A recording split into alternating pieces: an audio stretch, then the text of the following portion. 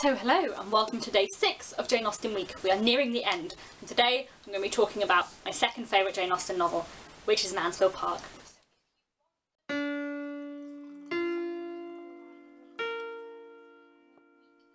Now I've had an interesting journey with Mansfield Park because the first time I read it when I was about 14, I didn't like it.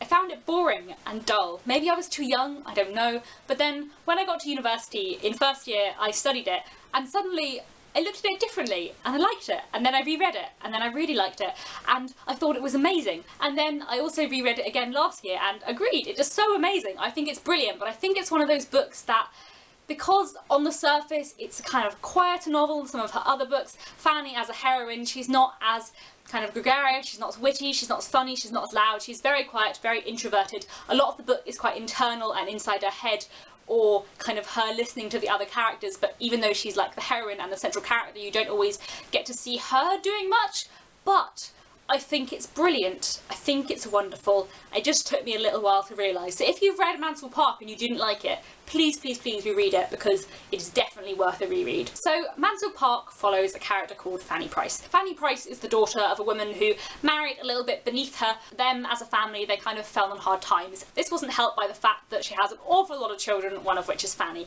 One of her sisters, Lady Bertram, has done a lot better off for herself and is married to Sir Thomas Bertram, who is very rich, owns this massive place called Mansfield Park and also owns several plantations overseas in the Americas. So Sir Thomas and Lady Bertram, along with the influence of the other sister, Mrs Norris, decide that they will adopt one of Frances Price's children. They decide to adopt a little daughter, Fanny. Fanny, at the age of 10, goes to stay with the Bertrams and is brought up by them. The majority of the book focuses on her from the age of about 16, 17, 18 onwards, and that period of her life. Sir Thomas and Lady Bertram have four children. Tom, the eldest, who is a bit wild and likes his gambling and his drink. They have Edmund Bertram, who is much more calmer, controlled, wants to be a clergyman, and gets on very well with Fanny. They are friends from a very young age, and she looks up to him in like everything she does. There are also two daughters, Maria Bertram and Julia Bertram, both of whom are a bit giddy. They kind of look down on Fanny and they are kind of out for love and money and whatever they can get. Early on in the book, Maria Bertram becomes engaged to a man called Mr Rushworth who lives nearby. Mr Rushworth has a lot of money but not much sense. And Maria doesn't appear to be very fond of anything about him apart from his grounds and his money. Fairly near the start of the book as well, and where the story really takes off, a brother and sister come to visit a local parish where their half-sister lives. This brother and sister, Mary Crawford and Henry Crawford, are an interesting pair of young people that the whole lot at Mansfield Park are a bit besotted with, with the exception of Fanny.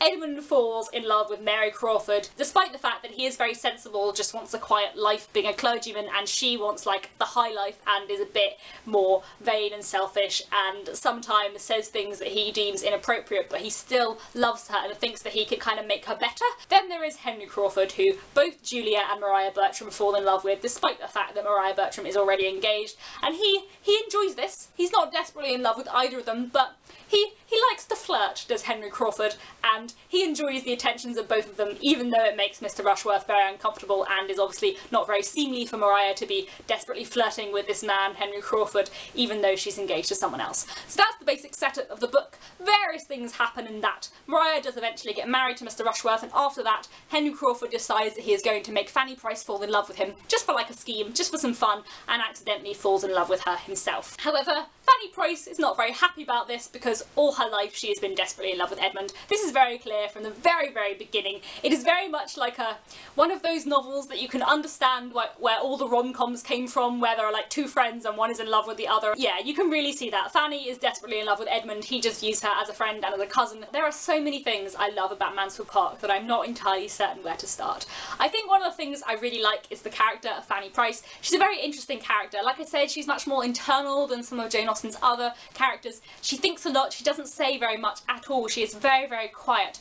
But she has very strong moral principles. I know a lot of people think she's a bit shy and pathetic and weak. I've heard a lot of people that don't like Fanny Price as a character, but I think she's very aware of like morality and, uh, and her own moral convictions. She has a very strong sense of right and wrong. Also, you completely understand why at times she is as weak as she is in terms of both physically weak and also weak in terms of standing up to people. She has all her life been effectively downtrodden by the rest of the family. The only one of the family who really seems to care about her is Edmund.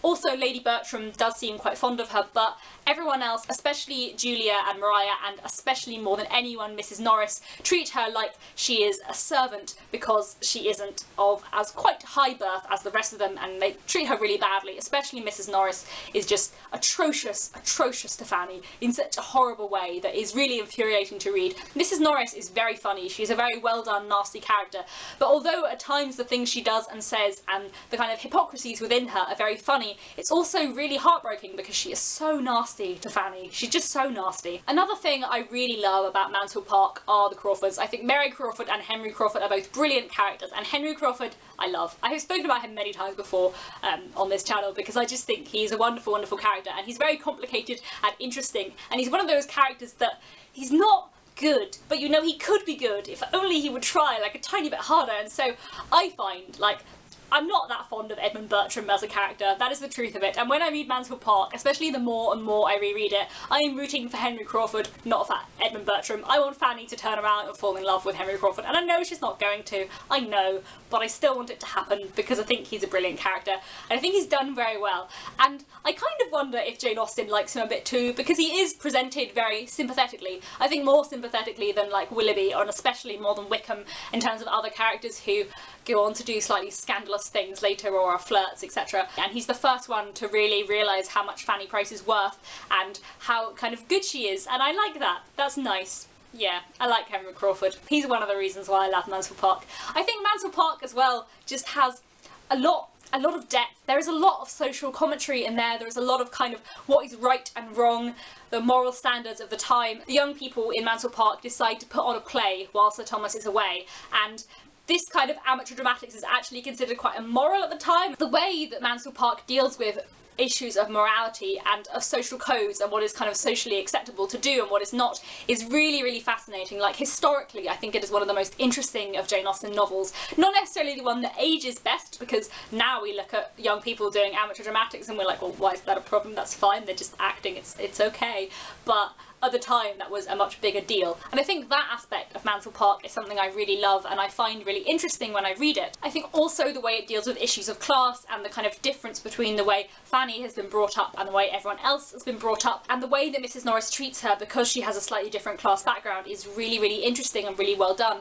It also really helps explore something Jane Austen explores a lot in her novels, the idea of people who are not rich or poor, the people kind of stranded in between with quite not really any particular social class to put themselves in because Fanny, she, you know, she doesn't belong with the servants, she is above the servants but she is below the family and she's kind of in a sort of limbo throughout a lot of the book in terms of her class place and her class position. And Jane Austen explores that in a really interesting way. I just think Mansfield Park is a fascinating novel and it is underrated because people sometimes think it's boring but I think it's really interesting and it's done really well and I just like it anyway. Now I don't actually have a TV or film adaptation to talk to you about with regards to Mansfield Park because although I have seen quite a few Mansfield Park adaptations, I have never seen one that I've liked. Interestingly, my favourite three Jane Austen TV adaptations were the three I spoke about on Monday, Tuesday, Wednesday, so adaptations of my least favourite Jane Austen novels, but I like the adaptations more. I think for me, the more I love a book, the harsher I am on the adaptations.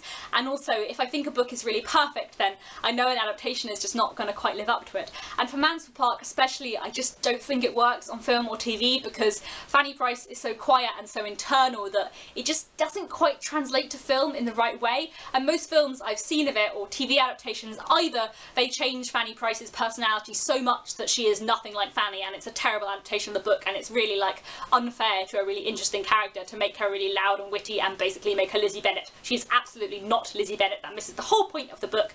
Or the other thing they do is they follow the book exactly and then it's just kind of boring because you can't see in Fanny's head.